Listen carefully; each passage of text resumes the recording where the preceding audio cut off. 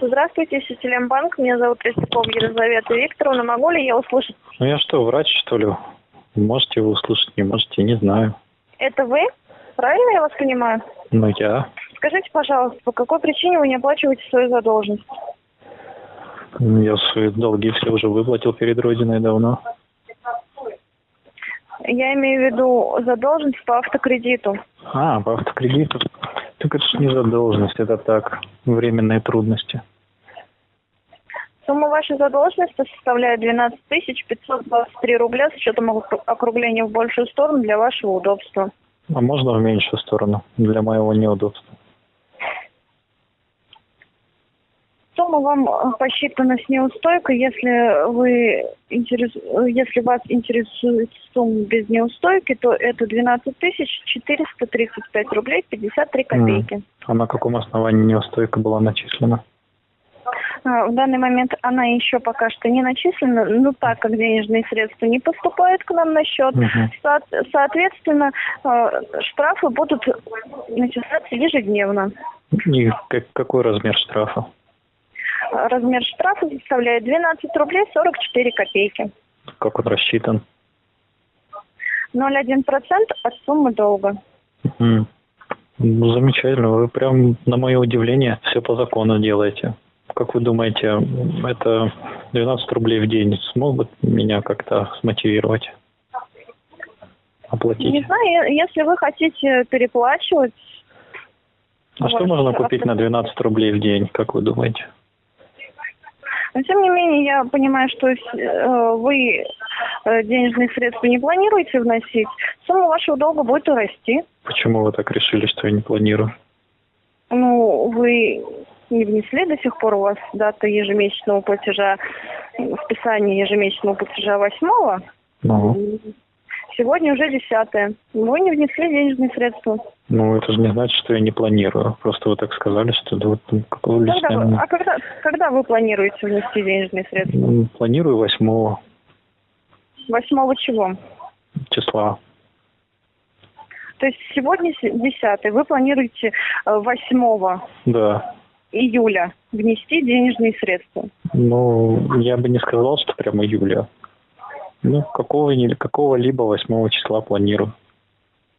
Хватит вам такой ответ? Ну, устраивает вас? Нет, не устраивает меня такой ответ. А, Банк выставляет вам требование в течение двух рабочих дней произвести оплату. двух рабочих. А когда это требование было выставлено? Я выставляю вам сейчас требования Так вы выставляете или банк? от, от имени банка. А, вы это, у вас есть доверенность на право выставления требований? У меня Да. у меня есть возможность выставлять от имени банка требования. Так Ну, я являюсь- так, она- так как не-не, я она являюсь выс- сотрудником банка. то, что вы являетесь сотрудником, это еще не дает вам права на выставление требований. У вас должна быть доверенность, заверенная работодателем. Есть у вас такая доверенность? Мы сейчас не говорим о том, что есть ли у меня доверенность или Ну нет у меня Ну, Вы доверенность. же, вы же Мы требования говорим- выставляете. Я должен Мы понимать, сейчас- с кем я сейчас- общаюсь. Просто с человеком или с доверенным лицом банка. Вы мне до сих пор никак не подтвердили, являетесь ли вы доверенным лицом банка или нет. Вы Я скажите номер доверенности своей и от какого числа она. То есть ваш банк вас Мы не наделил сейчас этим о правом. Мы сейчас Вы понимаете, ваш банк вас этим правом не наделял. И вы Мы- э, занимаетесь, знаете чем? По закону, как это называется? Самоуправство.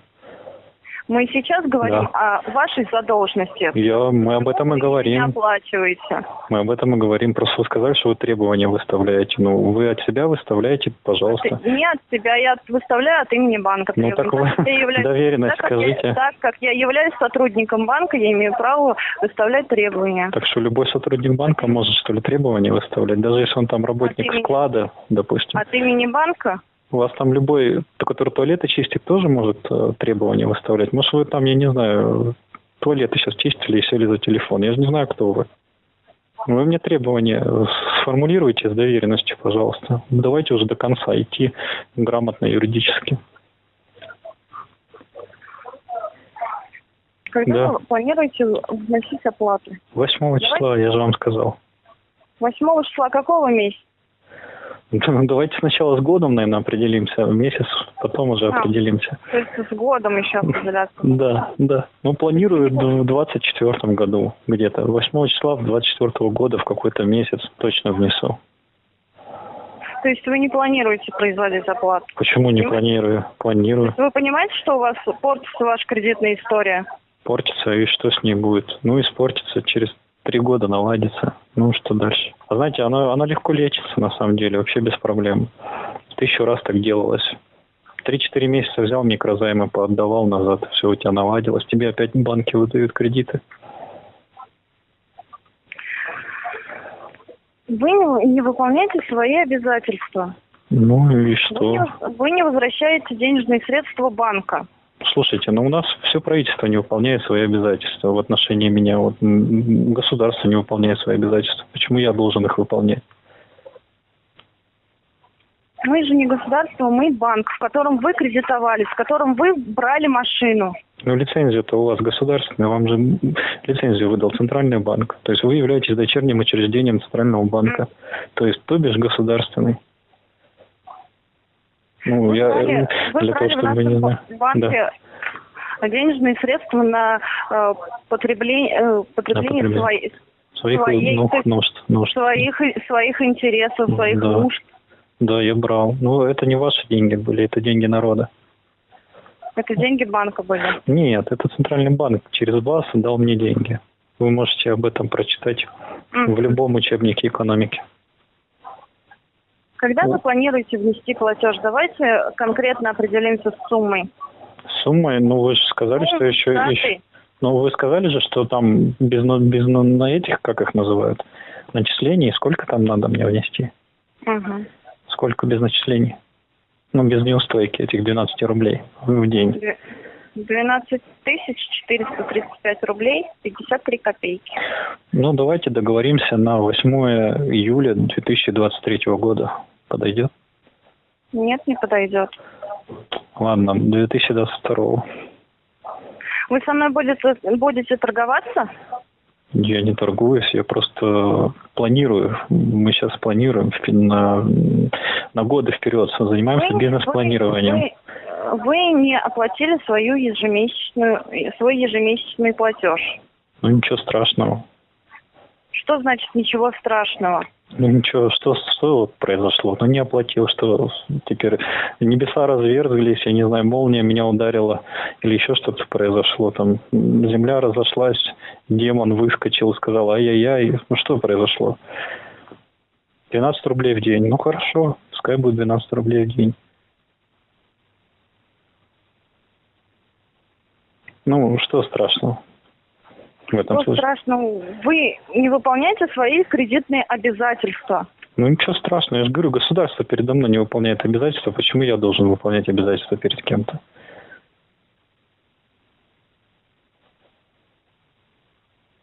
Вот меня обокрали в 91 году, включая и вас. Все забрали у меня. И ничего, никто не парится, никто об этом почему-то не говорит. Зато если ты там просрочил платеж на два дня, так тебя начинают сразу укорять какой-то плохой. Это же как-то несправедливо, правильно? Алло. Ну не отключайтесь, с вами очень интересно разговаривать.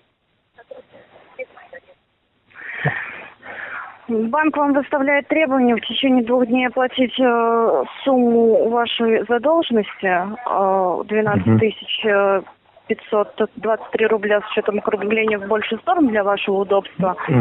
Опять думаю. А вы можете выслать э, вот это требование, письмо мне на e-mail, ну, чтобы я прочитал? Я вам требования банк вам выставил. Ожидаем от вас оплаты. Всего вам доброго. До свидания. Ну, вы на e-mail можете выслать, это требование?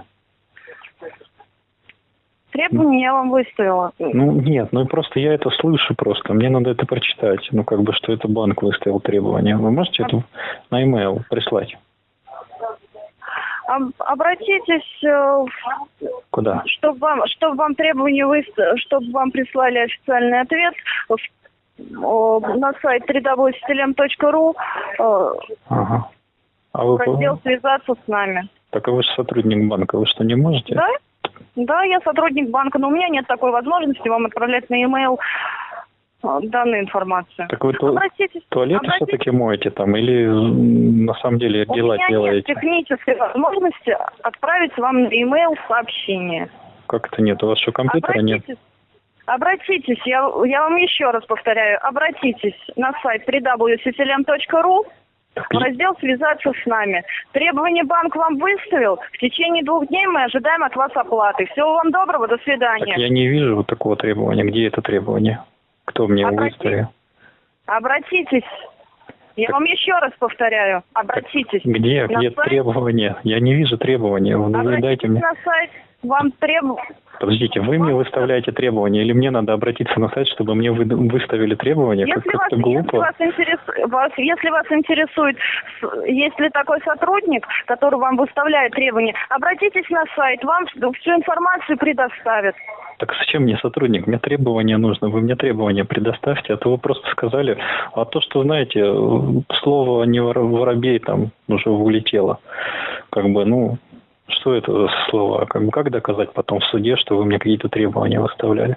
А так хоть какая-то бумажка есть. Вот я в суде скажу, они мне по телефону сказали, какая-то там девушка, которая туалеты моет. Я откуда знаю, кто это?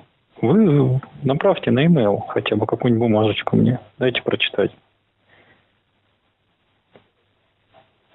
Ну не отключайтесь, девушка. Ну, не обижайтесь на меня. С вами очень интересно разговаривать. Девушка, Я вам еще раз повторяю, что я Да. выставляю вам требования по телефону, Да. возможности отправить э, вам документ. да, ну вы не переживайте так. У вас все, у вас все будет хорошо, честно. Вы на меня не обижайтесь только, ладно? Это я так просто шучу. Ладно, не обижайтесь только на меня. Я же вас никак не, не оскорбил, никак вас хотя бы. Срок погашения, назовите мне дату конкретную, когда Мгм. вы планируете произвести оплату. А сколько вообще там общая сумма, можно узнать? Ну, я вам точно скажу, когда я закрою. Я могу вам назвать некорректную сумму Ну, примерно скажите, сколько. 90, 999 рублей сем- 15 копеек. А, ну, Ну, вот. некорректно. Ну, я понял. Ну, слушайте, ну, я по-любому ее закрою. Ну, просто сейчас такое время, видите, карантин, вирус там и прочее. Вы знаете, что половина компаний в России, ну, не открыли работу, они разорились. Просто официальная статистика нам врет. Вот, а неофициальная статистика говорит, что половина компаний, ну, вот у нас даже я хожу, Меня не интересует... Да не, я, я вам не про, не про это говорю. Я не про это вам говорю. Ну вот, я вам про это и говорю, что дайте людям время отделаться от этой ситуации, которая была сейчас. Вы же понимаете Какое время? Ну, время.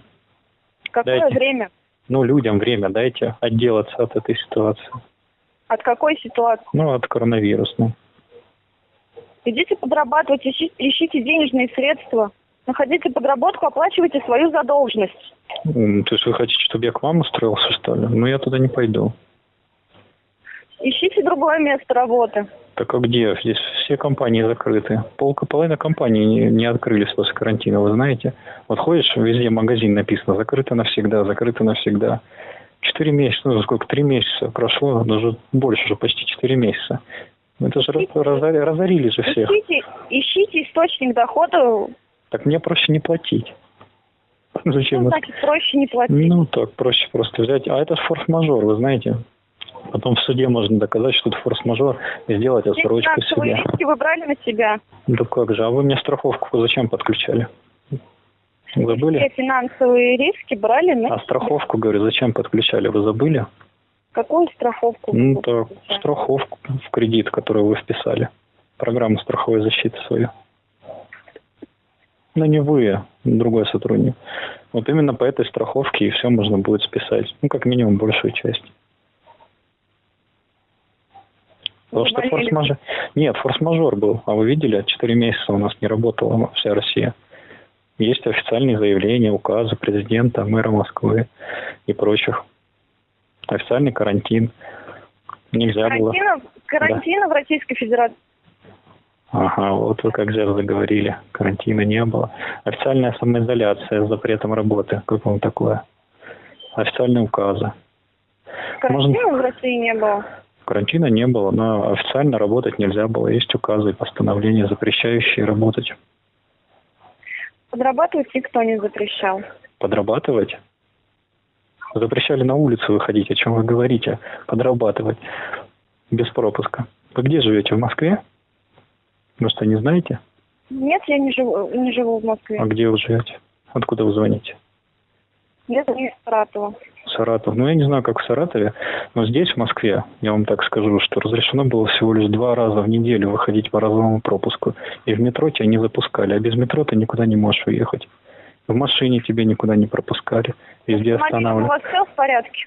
Все замечательно. Повреждения отсутствуют? Ну, я не знаю, но пока нет. А что такое? Хотите забрать уже? Нет, банк вправе интересоваться залоговым имуществом. Ну, он уже в залоге, вам еще надо его забрать. А это уже форс-мажор. Требования банк вам выставил. Ожидаем от вас оплаты. Всего вам доброго. До свидания. Ну, только требования, когда предоставите. А можно с вами лично поговорить? У вас такой голос красивый. Ну, не по телефону. Ну, не вот поэтому, не по-рабочему. Когда вы планируете произвести оплату? Ну, Давайте не- конкретно не, назовем Не, не кричите так на дату. меня. Не кричите, пожалуйста. Я не люблю, когда на меня кричат. Не, до- не доводите до того, А вы хотите в что вас- Москву переехать?